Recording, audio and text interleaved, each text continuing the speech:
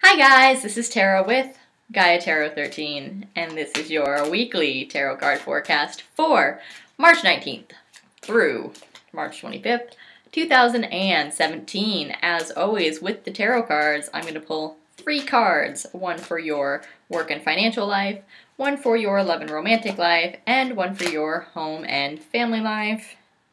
And let's get those.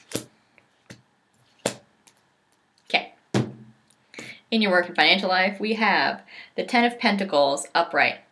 And this is something working out in your favor. It's going to be a big payoff. Whatever you've been trying to accomplish, you're going to like see the fruits of that labor this week.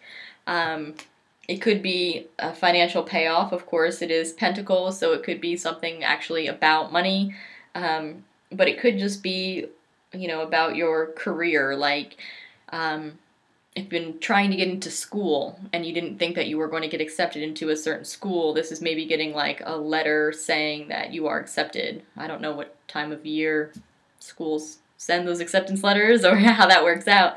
Um, but this is kind of like you getting that surprise that it's working out in your favor when maybe you thought that it wasn't going to, you thought like an opportunity had already passed.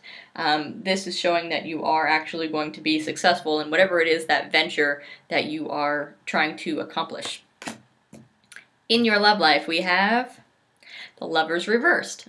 Okay, so this is about maybe taking some space, taking some time for yourself. This doesn't mean like it doesn't have to mean something like major big breakups or anything like that. Um, it just may mean that maybe you and your partner are getting too much in each other's space. You know, if you live together, if you're married, it's very easy to kind of just feel like you are on top of each other or attached at the hip or just together like all the time. and this is kind of like remembering that you are two whole people with independent lives who are, you know, integrating your individual lives and creating a shared life, not that you're like one person. so take back um, some time this week for yourself. It doesn't even have to be like, you know, I often say like rest and rejuvenate, do things that charge your batteries. Like, it doesn't even have to be something like that. It's like, go out with your friends, you know, do a hobby that you do only by yourself. If you want to watch like a certain kind of movie, like a chick flick, okay, so you want to go out to like a movie that your partner doesn't want to see, just go by yourself. Like, it doesn't mean that you can't go to it. Um, so just taking some time to yourself to kind of like just spend time alone and rediscover who you are as a person so you don't lose yourself and lose your independence and lose yourself in your partner. Um, if you're single, you may find that you encounter someone this week who wants to take too much of your time.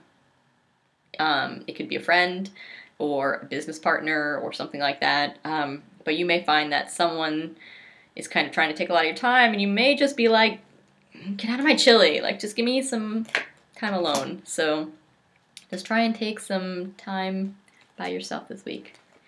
In your home and family life, we have the chariot upright.